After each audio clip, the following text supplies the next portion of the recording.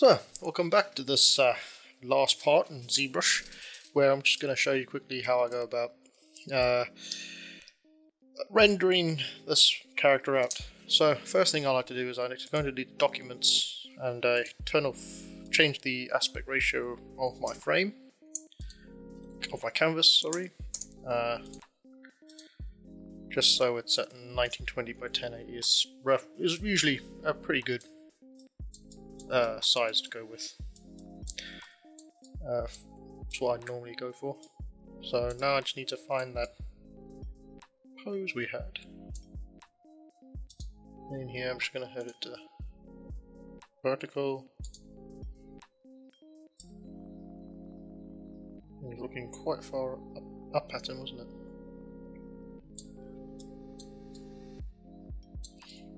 Now once you find pose that you liked.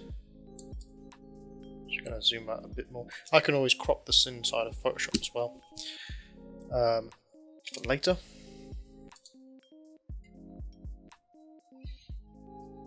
Yeah, hit 70 on mine. There we go. So once you can find a position for your model that you like, uh, we want to render it to or from,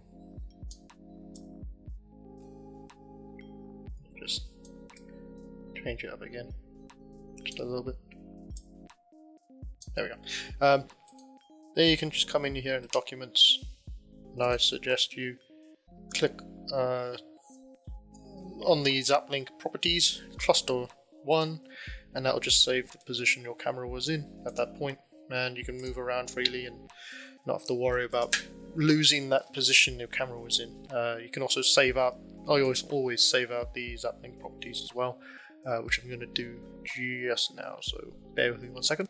Alright, so just save the views out in a separate folder, uh, so that, way, in case it cra ZBrush crashes, you still have it in your folder, you can go back and load it up and use it again. Uh, so I just open up the tab on the uh, left hand side, I'm just going to dock the lights and dock the rendering. Now I'm not going to go into too much detail about all this uh, settings and stuff because I've made a video on that before, so if you want, you can go and check that out on my YouTube channel. But essentially, what I'll do is I'll I'll play around with the lights to get a good base light, um, or fill light, sorry, um, first, and then I will add a secondary light. But I want to make sure I get the shadows in a nice nice way on my model, so it's lit to a nice in a nice sort of way, basically. Uh, that's quite a nice looking light. So let's have a look at the pass. So I'm just looking at the shadows quick, making sure that they look cool. Uh, and it will make the character look cool. So it's kind of slip from the side more. And the more you go over, the, the harsher the shadow gets to one side.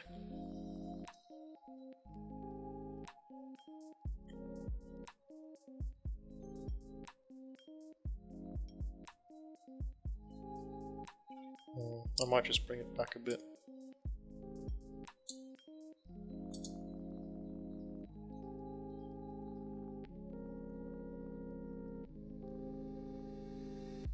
Yeah, that'll be fine. Um, and I'll grab a ambient occlusion, and I'll bump this down, bump this up, up. Again, you can always find these tutorials on my YouTube channel if you want and look them up. But right now I'm just trying to get through this as quick as possible so I can get on to the actual fun part, which is the Photoshop stage, where I will um, show you how to Photoshop the, the, the, images together and make a really cool looking poster or concept um, with this model. So it, once you start bumping up the resolution, it's going to take a little time to to render out so maybe just sit back and and wait really.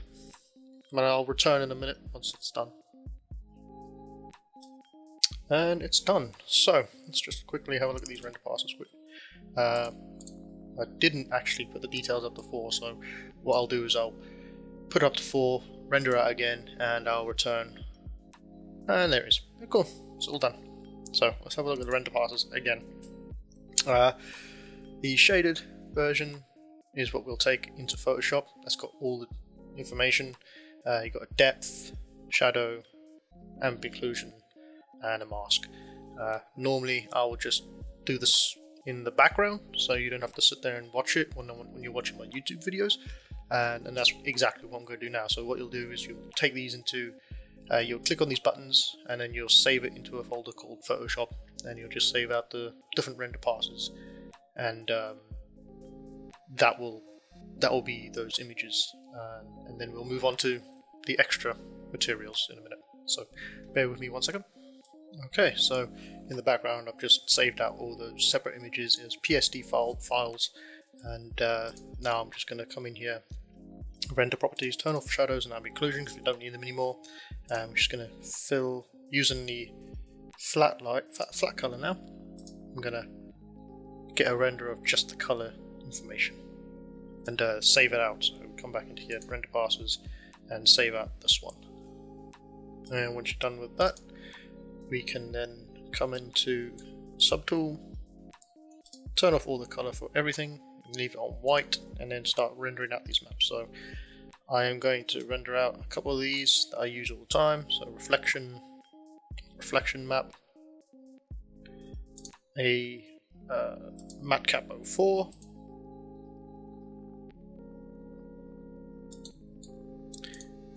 a matcap skeleton, and then there's ones like the frame 01, this will give us a nice cavity uh, maps sort of look to it. And there's a then I'm just gonna quickly turn on select the body quick. Uh, there is a AI normal map. This will help out a lot with um, uh, lighting. And then we can play around with some of the other ones. I might just take this one because this one works quite well. This will quite work quite well with the skin, uh, getting that slimy look. And then there's an S tomato one, which will help with the red colours of our character. And we're just going to look around and see if there's any more we can use which we think might look good. I'm going to bump out this one.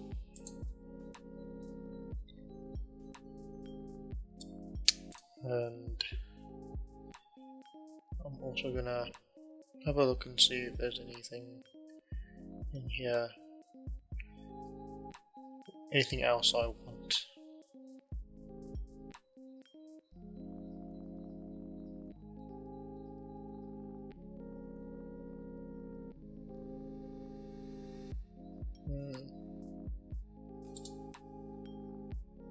might just take this one. I'm, some of these I won't use, some of them I will use, but I'll, I'll, it's best to have and not have, basically.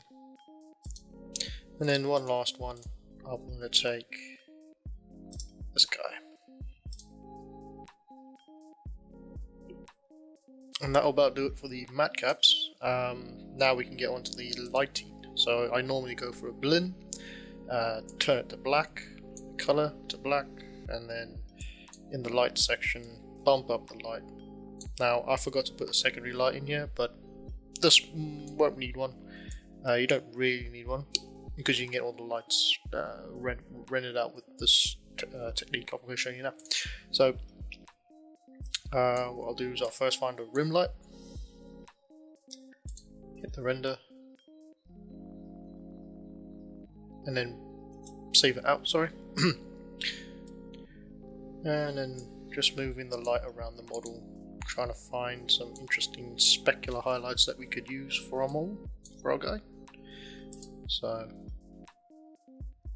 that's pretty cool.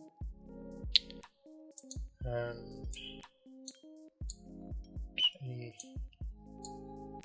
kind of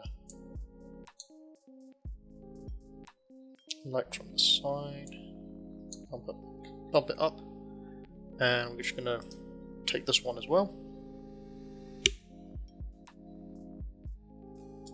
I'm also going to change the, the material to a jelly bean and render some of these out because these are going to really, really hard specular on it. Which will work great for our color, for our character, and make it look a little bit more, more wet, slimy. So I'll just grab one more and that'll be it. Just in case the other one doesn't work, really. That's essentially it. Uh, I'll just put this over to a blend again, turn it to white, bring it down, and render. So, uh, that's how I render quickly inside of ZBrush to get it into Photoshop, and that's what we're going to look at next um, inside of Photoshop. So, uh, yeah, I'll see you in the next stage.